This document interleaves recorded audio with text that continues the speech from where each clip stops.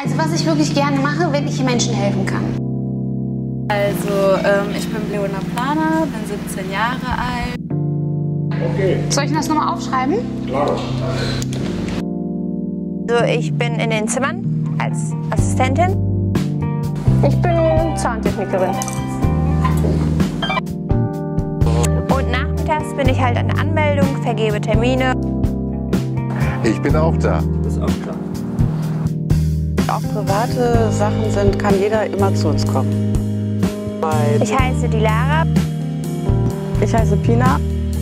Also ich denke, es ist das Team. Da hat man nur Spaß.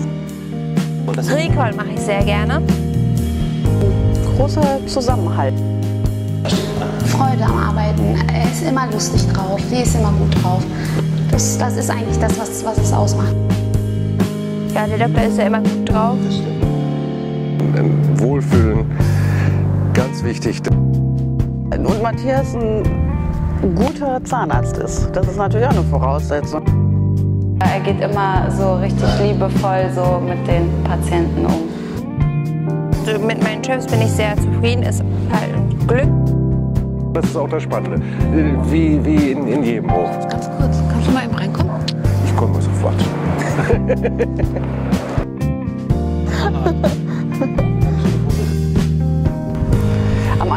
Labor noch in der Praxis.